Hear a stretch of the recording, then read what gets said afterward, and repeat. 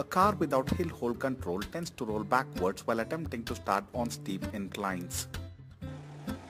Let's see how an XUV 500 without hill hold feature behaves on an upward incline. The car rolls backwards the moment you take your foot off the brake pedal.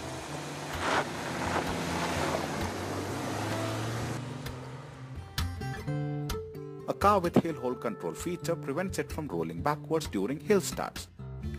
This is the XUV with the hill hold control feature. Let's see how it handles the hill start condition. For the hill hold feature to work, keeping the clutch pedal pressed is mandatory. Here we saw clearly that the hill hold control feature did not allow the XUV 500 to roll backwards. Among the XUV 500's variants, the W8 has hill hold control, whereas the W6 and W4 doesn't have hill hold control. The hill hold control feature brakes the car via ESP for around 3 seconds once the foot is taken off the brake pedal.